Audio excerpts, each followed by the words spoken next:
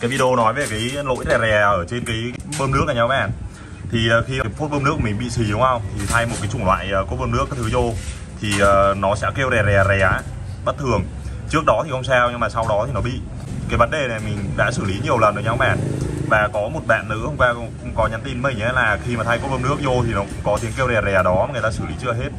À, và cũng đi sửa nhiều chỗ rồi mà có người người ta thay TBS rồi thay đủ thứ các bạn hết 5 triệu mấy rồi nhưng mà nó vẫn chưa hết cũng muốn ở đây cho mình kiểm tra lại thì mình cũng đang đoán là nó bị lỏng cái cốt bơm nước này thôi. À, thì đây là một phần thôi nhá các bạn. Tại vì có một cái xe từ trước là anh cũng mới thay cốt bơm nước xong và nó cũng bị lỏng cái này rất là ghê luôn nó kêu rè rè. À, nhưng mà nó còn bị ờ, uh, lột dên với lại uh, kiểu là lúc lòng nữa cho nên mình không có thể chắc chắn 100% là cái này. Nhưng mà mình uh, sẽ kiểm tra nha. Khi mà các bạn tháo ra các bạn kiểm tra lắc cái cốt này, này lắc cái cốt này nếu ví dụ nó rơ một ít á nó rơ một ít là chuyện bình thường à, jean của nó cũng có độ rơ nhẹ nhẹ nhưng mà nếu ví dụ nó rơ quá nhiều ấy thì mình phải tháo ra mình kiểm tra lại tình trạng nha rồi lưu ý thêm cái này nha cái này tình trạng là thay cái cái rong sim cao su ở chỗ cái đường bơm nước này nó lớn quá các bạn. Nó lớn quá cho nên là khi mình cho cái nắp vô mình siết thì nó bị nở ra nha thì nó làm banh cái rong của mình. Cho nên cái cái sim bơm nước này thì mình thay cái chủng loại nhỏ nhỏ vừa vừa thôi giống như jean thôi là ok. Rồi cái xe này tháo ra rồi nha các bạn, cái này nó bị à, lớn quá này nó cụm lên không? Cho nên mình phải thay một cái chủng loại nó nhỏ hơn nó vừa với cái khe jean nó thôi là được này thì nó bé xíu thôi. Mình thay chủng loại như jean. Nó chỉ có lồi lên một chút thôi là mình ép vô là vừa. Còn cái này người ta thay cái loại quá lớn nhá cái này bỏ rồi, cái lò xo tico này bị mất. Cho nên người ta chế cái lò xo đây để nó đẩy tico xuống này rồi tiếp theo là cái này nha. Cái quy tắc ấy là cái bánh này nó sẽ phải khít nhau ấy hoặc là nó hơi rơ một chút thì ok. Nhưng mà nếu ví dụ nó rơ nhiều một chút thôi là nó sẽ kêu. Mà nó rơ quá nhiều như thế này ấy, thì gọi là không sử dụng được bây giờ mình sẽ tháo mình kiểm tra cốt luôn, xong nó có bị hao mòn hay gì không? Mình tiếp. Rồi, ok, cái này là bộ cũ của nó nhá. Mình thả tháo ra rồi. Cái tình trạng này thì chưa có vấn đề gì. Nhưng mà nó bị lỏng với cái này. Đó. Thì bây giờ phương án của mình ấy, thì mình sẽ thử thay cốt khác thử. Cái cốt này cốt recto nha. Mình sẽ lấy cái cốt của mình ra. Mình à, cái cốt này của mình mình gắn vô. Nếu mà trường hợp mà cái cốt nó khít ấy thì ok, thì mình khỏi phải thay cái nhông này. Nhưng mà khi mà gắn vô ấy thì nó vẫn rất là lỏng.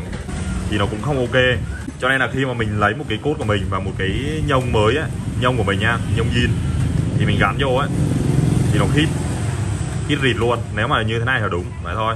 Cho nên là cái cái vấn đề mà phốt buôn bước này ấy, thì mình phải lưu ý tới ba phần nhé các bạn. Một là cái cốt này nó có bị lỏng hay không? Hai là cái nhông này nó có bị lỏng hay không? Ba là cái cái cốt này nó có bị nhỏ quá nó bị lỏng với cái nhông hay không? Mình kiểm tra ba thứ đó. Khi mà gắn vô ấy thì cái cái cốt này với cái nhông này nó phải khít với nhau là một nó nó có độ rơ nhẹ cũng được nhưng mà không được rơ nhiều quá nha. Rồi là cái cốt này với lại cái lỗ này nó phải khít.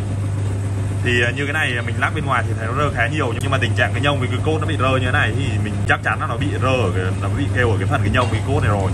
Còn cái lỗ này ấy, thì khi mà mình nhét qua nhét cái cốt Honda cái Indo này nha các bạn. Mình gắn gắn qua thì thấy nó cái độ khít của nó vẫn đang còn à, ok.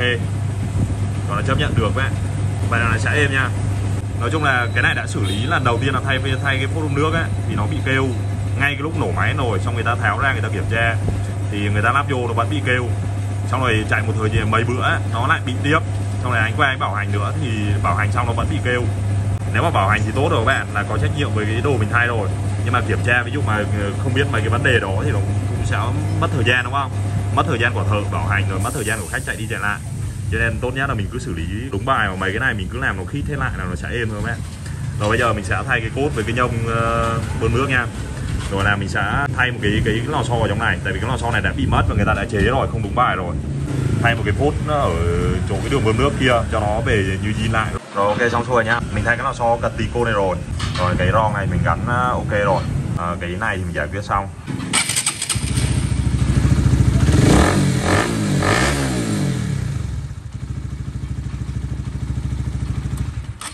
Ok vậy là xong nha. Giao xe